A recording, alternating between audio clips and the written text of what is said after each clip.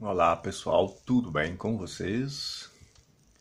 Então agora nós vamos aprender outro nó, lembrando que nós estamos aqui trabalhando, desenvolvendo, exercitando a nossa coordenação motora fina, essa habilidade de fazer coisas manuais, delicadas, coisas que requerem uma uma precisão maior, não é?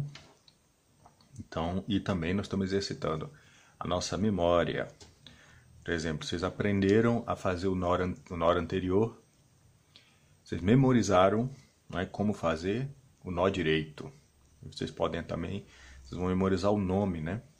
Então vocês fizeram o nó direito e agora nós vamos fazer o nó torto, o nó que não é direito. Esse nó, ele parece muito com o nó direito, mas a gente vai ver que na verdade ele é o erro do nó direito.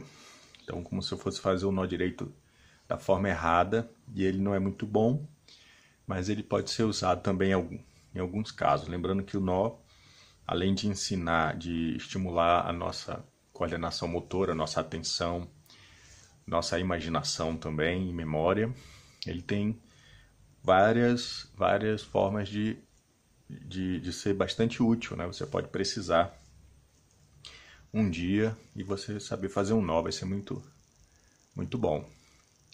Então, nó, nó esquerdo, como eu falei para vocês, lembra como começa igual ao nó direito, eu tenho as duas pontas aqui de uma corda que eu vou unir, né? Eu vou unir uma corda na outra. E aí eu vou cruzar primeiro, né? Essa corda aqui. E aí eu escolho que uma das, das duas pernas, ou que está por cima ou que está por baixo eu vou escolher a que está por cima, certo?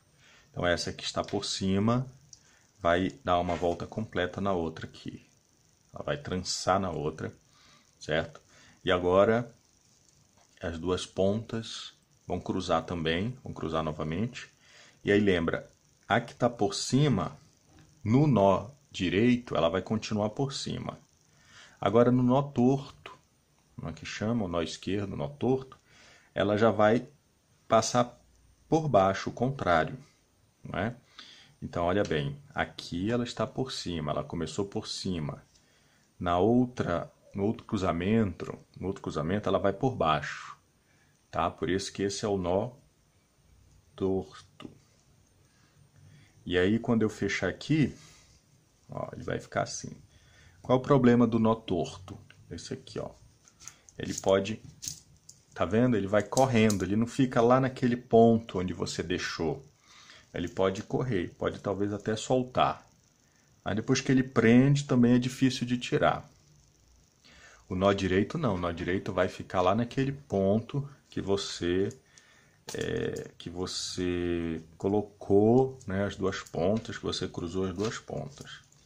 Aqui é difícil de abrir, mas ele, ele abre. Se apertar muito, talvez não abra certo? Então, aqui ó, vou fazer para vocês o nó direito de novo, só para vocês lembrarem.